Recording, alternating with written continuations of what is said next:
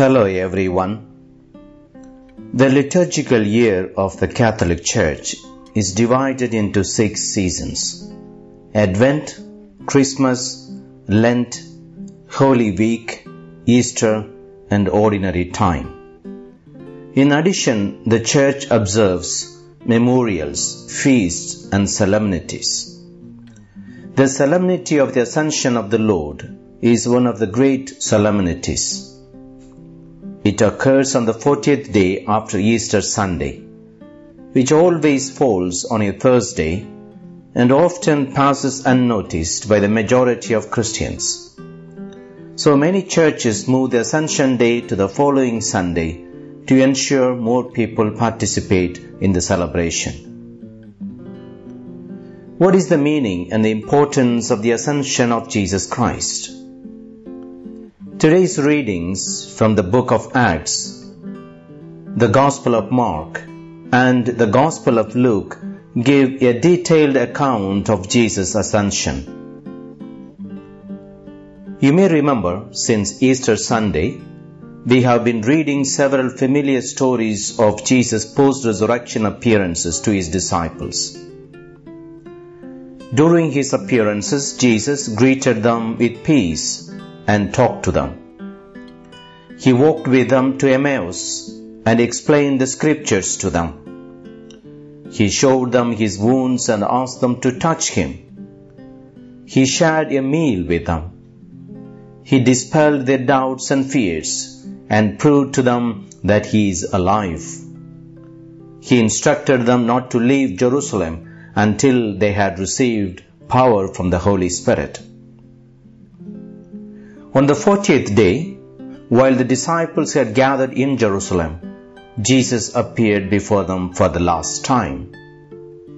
They asked him whether he was going to restore the kingdom of Israel at the time.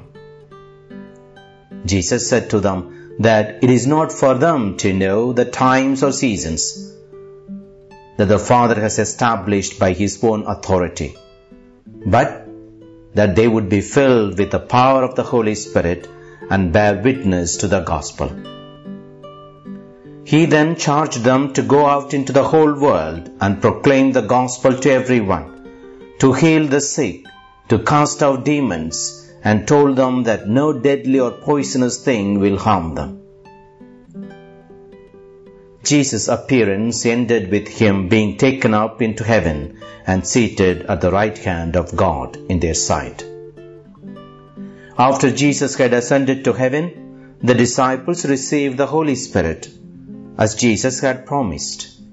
And then they went everywhere preaching the gospel of Jesus, healing people and working many signs and wonders with the help of the Holy Spirit. This is the event we commemorate today. Friends, the ascension of the Lord is important for two reasons. One, with the ascension, Jesus decisively ended his time on earth and entered into God's heavenly domain, so that his own words should be fulfilled. He had told his disciples, no one has gone up to heaven except the one who came down from heaven, the Son of Man. He had said to Mary Magdalene at the tomb, Do not hold on to me, for I have not yet ascended to the Father. Go instead to my brothers and tell them, I am ascending to my Father and your Father, to my God and your God. Friends, Jesus had ascended from heaven in the incarnation and returned to heaven in the Ascension. However, he ascended to heaven not only to return to where he came from, but also to prepare a place for those who believe in him. He said, In my Father's house there are many rooms. If it were not so, I would have told you, I am going to prepare a place for you. Yes, the ascension of the Lord is a great consolation to all who are afraid of death or afraid of dying. Let us therefore encourage one another to remember that Jesus descended, died, resurrected, and ascended into heaven for us. let us believe and live in the hope of one day being with Him in God's kingdom forever. 2. Jesus Christ, having entered heaven once again, intercedes constantly for us for the power of the Holy Spirit, which is very essential to the life of faith in Christ Jesus. Jesus said, Nevertheless, I tell you the truth. It is to your advantage that I go away. For if I don't go away, the Holy Spirit won't come to you. But if I go, I will send him to you. Friends, Jesus has not promised to restore to us our health, family, relationships, work, fortunes, and finances according to our own times, ways, thoughts, plans, and desires, but in God's time.